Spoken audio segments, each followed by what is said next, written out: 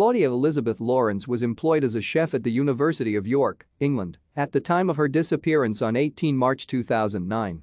Although the police have treated her disappearance as a case of murder, with various people arrested but later released, her fate is unclear. Claudia Lawrence was born in Malton, Yorkshire, on 27 February 1974. She spent her early life with her parents, Peter and Joan, and an older sister called Ali. Her father, who died in February 2021, was a prosperous solicitor. Lawrence enjoyed a comfortable childhood and was privately educated at the York College for Girls.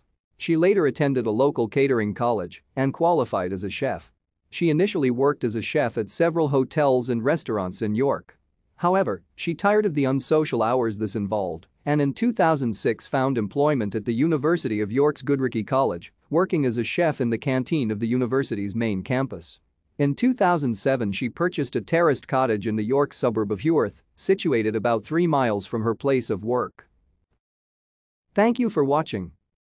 Like and subscribe if you would like to view more of our videos. Have a nice day.